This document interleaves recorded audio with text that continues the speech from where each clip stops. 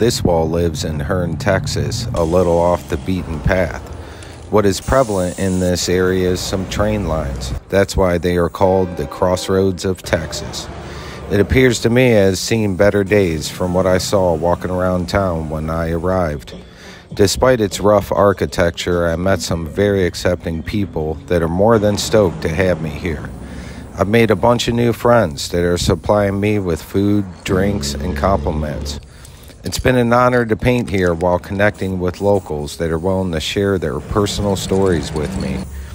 I live for these experiences, and I'm humbled every time I get support the way I did here. I still wonder why art has such an impact in this way, and how it can communicate a million words without speaking one. I don't know. I suppose things are best left unknown sometimes.